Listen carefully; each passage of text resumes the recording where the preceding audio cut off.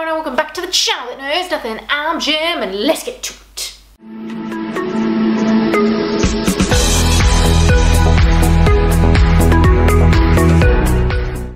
Today we are diving on into the bookish witch tag. So let's go. It's almost perfect, right? I've lined this up amazingly. Question number one is hop on your broomstick and pick your favorite witchy setting and I've gone with I don't know why I dramatically paused there, but The Witch Boy. It's cute. It's my favorite kind of genre.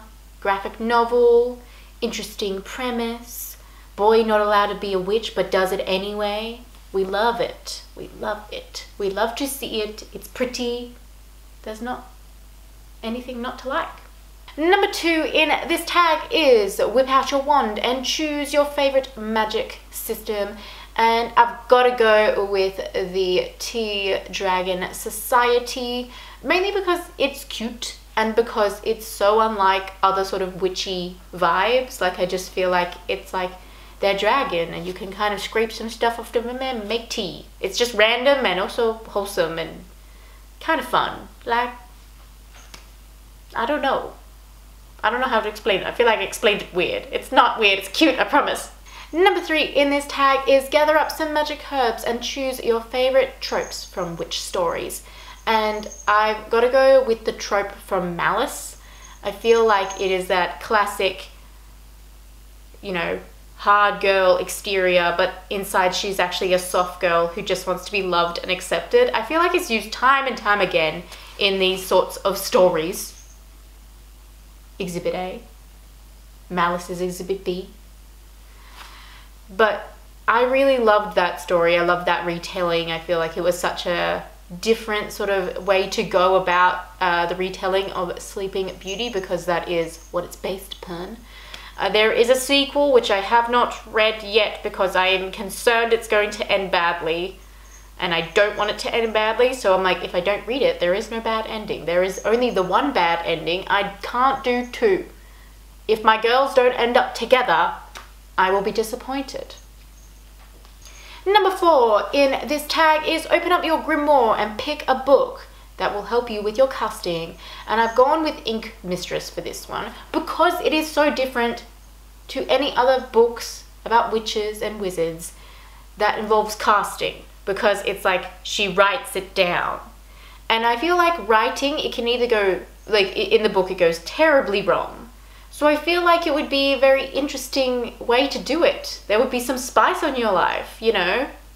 You might do it wrong and it could end badly or it could end terrifically. You never know.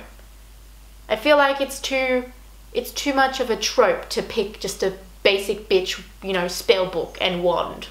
We don't do those things on this channel. We're weird and different. Number five in this tag is stir that bubbling cauldron and choose a witchy brew or snack. And I feel like I was never going to get through this entire tag without mentioning a certain wizard. So we have definitely got to go with butterbeer from Harry Potter. Also, I have tried butterbeer. I'm not sure if that's how it would actually taste. I'm a little bit disappointed. I've only tried the one at the Wizarding World Universal Studios, but I don't know if that's how it would taste. I'm convinced otherwise. Let me know what your thoughts are. I'd be very interested to know. I have attempted making it as well and it tastes very similar to what I tasted and I'm not I don't I don't think so.